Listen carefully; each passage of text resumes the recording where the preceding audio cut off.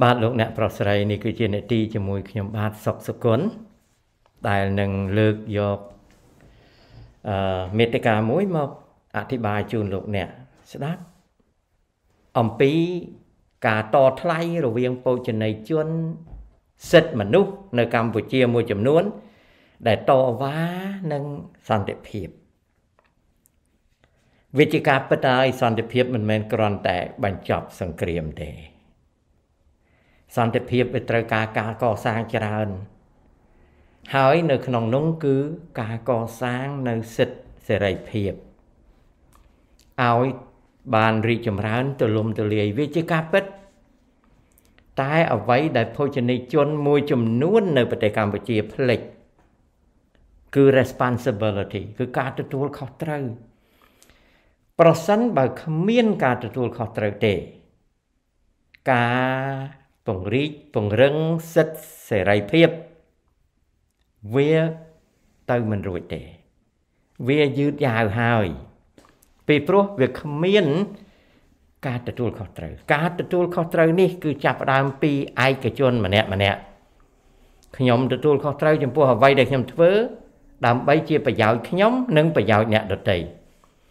យកប្រយោជន៍តែឯងអត់បានទេវាឆ្លោះគ្នា ហើយសង្គមខ្មែរ ក្រោយពីបានឯករាជ្យគឺសង្គមខ្មែរជាសង្គមមានរចនាសម្ព័ន្ធនិងអវ័យអវ័យដែលមិនទាន់រៀបរយនៅក្នុងនោះគឺចាប់ផ្ដើមអំពីសតិអារម្មណ៍ផុយស្រួយគឺភាពមិនគឺការមិនមានស្ថិរភាពផ្នែកសតិអារម្មណ៍ mental stability បន្ទាប់មកវាមានបញ្ហាសពគ្រប់ដែលបញ្ហានោះត្រូវតែ កសាងត្រូវតែបញ្ជ្រាបចូលទៅក្នុងមនុស្សនៅក្នុងសង្គមគឺខ្មែរដែលចាប់តាំងពីគ្រួសារញាតិសន្តានមិត្តភ័ក្តិក្លឹបសហគមន៍ភូមិឃុំសង្កាត់ស្រុកខេត្តក្រុងប្រទេសវាត្រូវមានការកសាង ហើយការកសាងទាំងឡាយនោះដើម្បីឲ្យមនុស្ស អនុវត្តសិទ្ធិសេរីភាពរបស់ខ្លួនដោយប្រកបដោយប្រសិទ្ធភាពនិងនឹងបានផលល្អវាទាល់តែមានការទទួលខុសត្រូវហើយការទទួលខុសត្រូវវាទាល់តែមានការអប់រំវាមានការអប់រំវាមានជីវភាពវាមានការយល់ដឹងច្រើនហើយវាមានអ្វីដែលហៅថាសង្គម civilized ដែលភាសាអង់គ្លេសប្រើតែពាក្យ civil society ហើយចេះតែច្រឡំថាជាអង្គការអង្គការសង្គមស៊ីវិលអីចឹងទៅអង្គការសង្គមស៊ីវិលចង់មានប្រមាណលានក៏ដោយវាអត់ជួយអីបានទេបើសិនជាគ្មានការកសាងសង្គមស៊ីវិល័យ civil society organization do do not do not help much if focus on civilized uh, uh, society development uh, is lacking.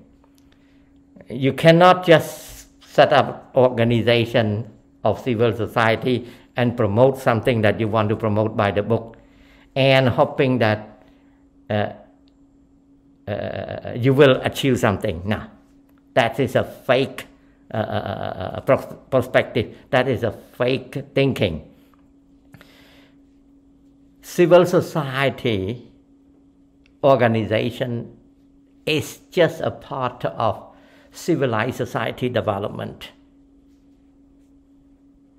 That's why uh, throughout the world, uh, uh, civil society organizations fail to uh, uh, uh, achieve their goal because they spend too much, they focus too much on their organizational works than developing civil society អានឹងហើយបានជាអង្គការសិទ្ធិមនុស្សអង្គការសង្គមស៊ីវិលហ្នឹងវាអត់បានការអីយូរយូរទៅវាคล้ายទៅជាអង្គការដែលគិតពីរឿង funding អនទានអីដើម្បីប្រាក់ខែរបស់ខ្លួនតែគ្មានបានជួយកសាងអ្វីដល់សង្គមច្រើនទេដោយសារវាគិតឃើញថាអា civil society នេះជា organization វាមិនមែនជាមុខងារដែល ទៅបណ្ដោះបណ្ដាលកសាងសង្គមស៊ីវិល័យ building civilized society អត់គិតរឿងហ្នឹងទេវាទៅជាគិតពី organizational work ទៅវិញហើយវាវាគិតតែពីคลายទៅជាគូបដិបកនិងរដ្ឋាភិបាលគូបដិបកចំពោះរដ្ឋាភិបាលវិញ civil society become uh, advocating uh, organizations uh, uh, criticizing the government uh, did not do much thing to promote to develop civilized community civilized society អាហ្នឹងហើយចឹងអាហ្នឹងហើយជាបញ្ហាដែលកើតនៅស្រុកខ្មែរនោះបានជា30ជិត30ឆ្នាំហើយអាស្អីដែលហៅថាអង្គការសង្គមស៊ីវិលនិងអង្គការសិទ្ធិមនុស្សនោះវាคล้ายទៅជាឧបករណ៍របស់បរទេស ដែលក៏កោក៏កាយកម្ពុជាឲ្យអត់ជួយឲ្យប្រជាជនខ្មែរយើងកសាងនៅសេចក្តីសុខកដុំរមនាក្នុងភូមិឋានទេអញ្ចឹងហើយបានជាពួកបូជនីជន សង្គមស៊ីវិលគេចាញ់សម្ដីណាមានមានជនខ្លះគេចាញ់សម្ដីគេថា peace is more than just the absence of war we have to achieve both negative peace and positive peace where people are able to enjoy their fundamental freedoms. Of course but you do not mention about responsibility. You do not promote people awareness of their responsibility. How can they achieve their fundamental freedoms? How can they enjoy their rights and freedom when they do not know about their responsibility? Just like you, a human rights advocate, you talk about human rights, you talk about freedom, but you don't talk about responsibility. When you don't, don't talk about responsibility, that means you nada. ដូច្នេះកុំមកនិយាយរៀនទទួលខុសត្រូវអាអង្គការសង្គមស៊ីវិលរបស់ខ្លួននឹងក៏រៀនទទួលខុសត្រូវ បោជណីជនជាខ្លួននឹងក៏ត្រូវទទួលខុសត្រូវហើយហើយបង្រៀនឃោសនាឲ្យប្រជាជនខ្មែរស្គាល់នៅសិទ្ធិសេរីភាពដោយការទទួលខុសត្រូវស្គាល់ធម្មនុញ្ញភាពស្គាល់ច្បាប់របស់ប្រទេសជាតិស្គាល់ប្រពៃណីស្គាល់ទំនៀមទម្លាប់ហើយនឹងដឹងអំពីការទទួលខុសត្រូវ កុំអង្គុយតែបន្ទោសថាអត់មាន fundamental freedoms អត់មានមកពីវាគ្មានអ្នកទទួលខុសត្រូវវាមានតែអ្នកបន្ទោសវាមានតែអ្នកដែល critical វាអត់មានអ្នកកសាងវាអត់មានអ្នកកសាងអញ្ចឹងហើយបានជាបូជនីយកិច្ចសិទ្ធិសេរីភាពនៅកម្ពុជាវាជិត30ឆ្នាំហើយវាអត់សូវចម្រើនទេ ដោយសារតែបូជនីយជនសិទ្ធិមនុស្សប្រភេទអស់ហ្នឹងដែលមិនដែលយកចិត្តទុកដាក់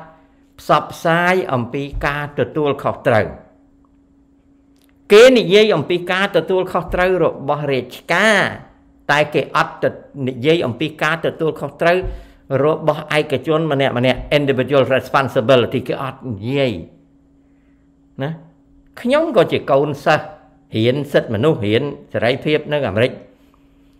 ណារវាងពួកអាមេរិកពួកឆ្វេងនិយាយអំពីថារដ្ឋត្រូវធ្វើអញ្ចេះរដ្ឋត្រូវធ្វើអញ្ចេះរដ្ឋត្រូវធ្វើអញ្ចេះចំណែកពួកស្ដាំ គេនិយាយថាដើម្បីបានអផលនឹងវាទាល់តែទទួលខុសត្រូវ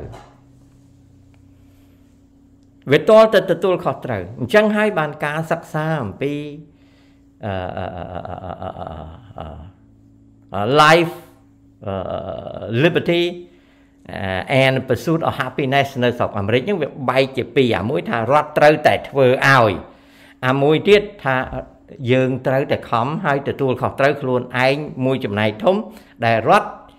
ជាចំណែកមួយនៃជីវិតរបស់យើងតែប៉ុណ្ណឹងអញ្ចឹងងាកទៅកម្ពុជាវិញពួកបូជនីជនសិទ្ធិមនុស្សទាំងឡាយនិយាយអំពី rights and freedom but never mention or promote responsibility they talk about lacking of human rights freedoms but they never talk about lacking of responsibility អានឹងហើយដូចភួរទឹមគោដាក់នឹមគោទៅទឹម2មែនអាភួរមួយណាភួរ2ប៉ុន្តែដាក់ទឹមគោតែមួយ អញ្ចឹងมันអាចអូសនាងកលនឹងបានទេវាត្រូវមាន the promotion of rights and freedom at the same time ណា promote awareness of responsibility វាទាល់តែកសាងការអនុវត្តសិទ្ធិសេរីភាព ជាមួយនឹងការទទួលខុសត្រូវហើយដើម្បីឲ្យវាមានការទទួលខុសត្រូវនោះគឺកសាងការទទួលខុសត្រូវពីគ្រួសារសហគមន៍ក្លឹប ឃុំសង្កាត់ស្រុកខេត្តប្រទេសវាត្រូវតែអញ្ចឹងអញ្ចឹងហើយបានជាបូជនីយកិច្ចខាងសិទ្ធិសេរីភាពនៅកម្ពុជាដោយអង្គការសិទ្ធិសេរីភាពអស់ហ្នឹងបរាជ័យអស់30ឆ្នាំអត់មានបានធ្វើអីទេហើយដើម្បីបន្តរកអន្តទានធ្វើប្រាក់ខែខ្លួនឯងក៏និយាយថាអានឹងជាបញ្ហារបស់រាជការវាមិនមែនទេវាជាបញ្ហារបស់ មនុស្សទាំងអស់រួមទាំងមនុស្សនៅក្នុងរាជការព្រមទាំងមនុស្សដែលជាបូជនីយជនសិទ្ធិសេរីភាពនឹងដែរវាជាបញ្ហាវាជាបញ្ហាអញ្ចឹងហើយបានជាអាស្អីដែលបូជនីយជនសិទ្ធិមនុស្សមួយចំនួននៅកម្ពុជានិយាយបានគឺក្បាលមេក្រូអាស៊ីសេរីក្បាលមេក្រូអឺកម្ពុជា Daily អញ្ចឹងហើយនឹង Twitter អញ្ចឹងប៉ុន្តែជា សក្រិតជាការជាក់ស្ដែងរបស់បូជនីយជនសិទ្ធិមនុស្សនៅកម្ពុជាឲ្យប្រម៉ូតសង្គមខ្មែរឲ្យបានស្គាល់សិទ្ធិសេរីភាពនិងការទទួលខុសត្រូវដើម្បីកសាងសុខដុមរមនាជាមួយគ្នាធ្វើមិនកើតបរាជ័យបានតែសរសេរជា critical reports ជា critical review ជាសម្ដី negative ដើម្បីបាន funding មកគ្រាន់តែយកមកចាំខ្លួនអត់ funding ទៅខ្លួនតត់ខ្យល់ ខ្លួនគ្មានម្នាក់សេការៈជាមនុស្សដែលយល់ពីសង្គមដែលខ្លួនចាប់កំណើតនឹងទេខ្លួនអត់យល់ទេ ខ្លួនអត់យល់ទេ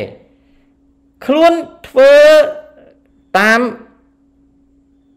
របស់ពីបរទេសមកដែលខ្លួនមិនព្រមបញ្ជ្រាបឲ្យដឹងថាអារបស់ហ្នឹងវាល្អហើយប៉ុន្តែទាល់តែកែច្នៃឲ្យវា ដោះឲ្យវារីកចម្រើនឲ្យវាបង្កបាន នៅប្រសិទ្ធភាពនៅក្នុងសង្គមខ្មែរធ្វើមិនកើតបូជនីយជនសិទ្ធិមនុស្សមួយចំនួនគឺមានយោបល់តែតាម Twitter តាម social media តាមក្បាលមីក្រូ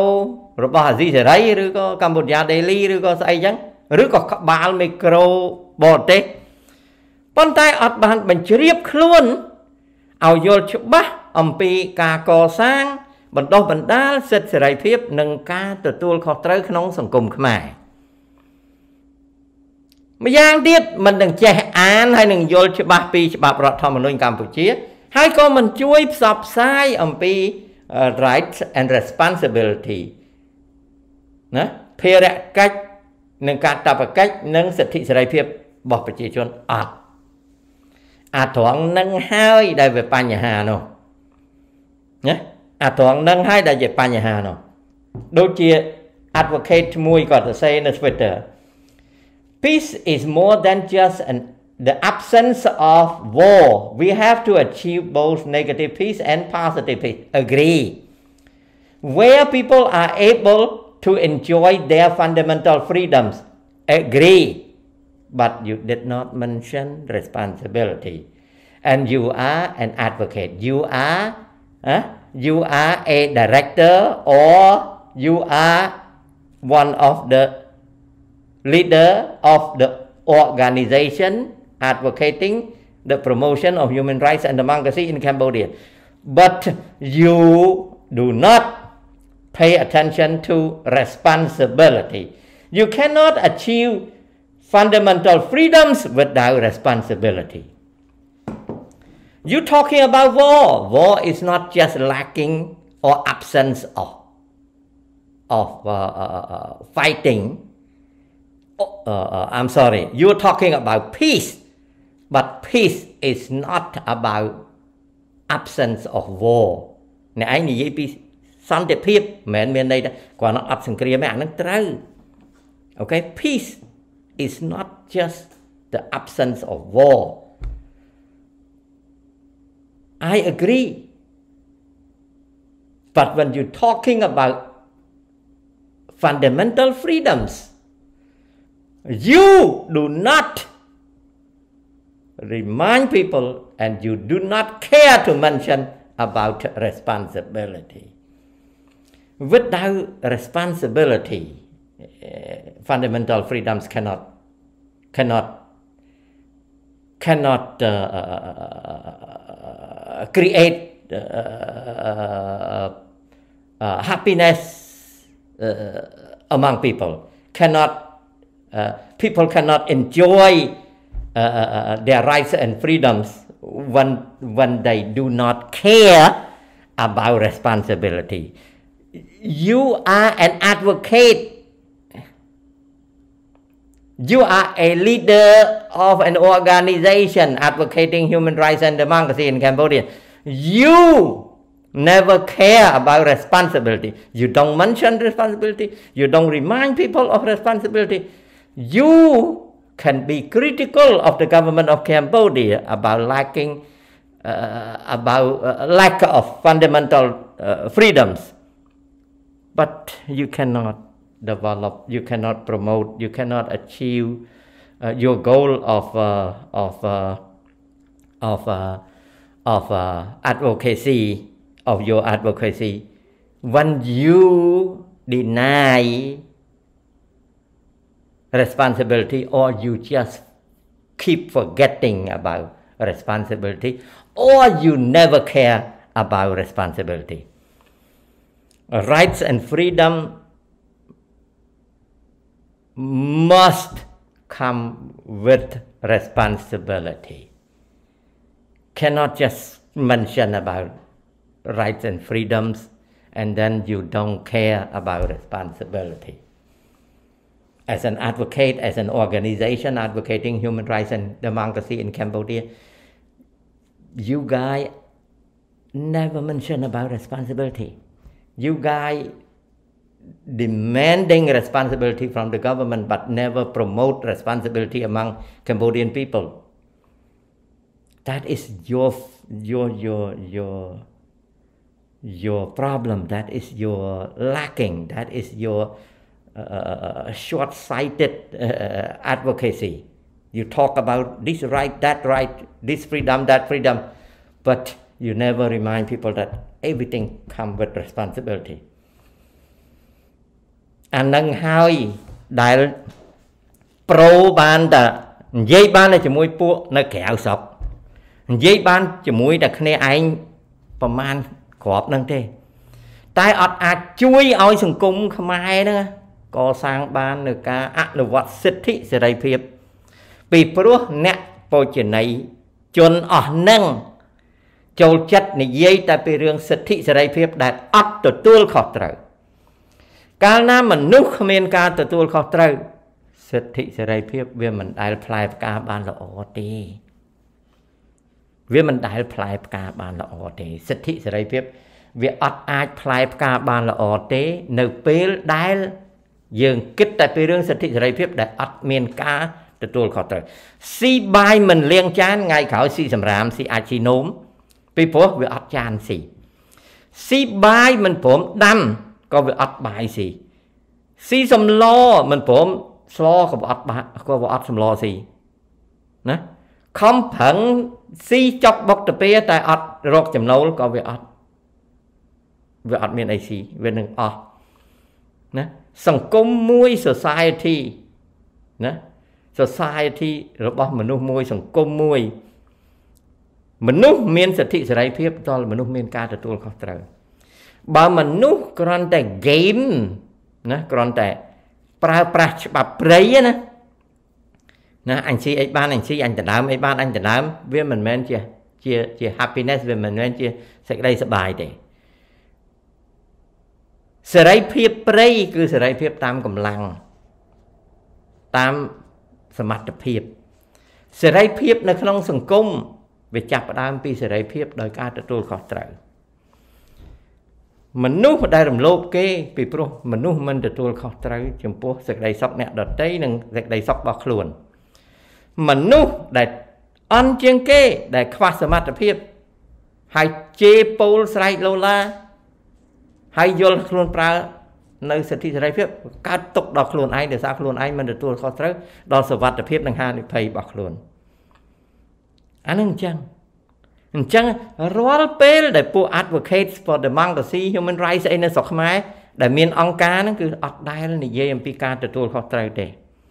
ហើយអត់ដែលប្រាប់ទៅបរទេសដែលដែលដែលយល់ឃើញអ្នកខ្មែរពិបាកកសាងសិទ្ធិសេរីភាពហ្នឹងណាមិនដែលនិយាយប្រាប់ថាមកអំពីសង្គមនោះវាអត់មាន promotion of responsibility វាចេះតែនិយាយថាសង្គមខ្មែរនោះវាខ្វះសិទ្ធិសិទ្ធិសេរីភាពប៉ុន្តែមិនដែលទទួលស្គាល់ថាអាកង្វះសិទ្ធិសេរីភាពពីព្រោះកង្វះការទទួលខុសត្រូវកង្វះការទទួលខុសត្រូវបានជាកង្វះសិទ្ធិសេរីភាពសូមអរគុណ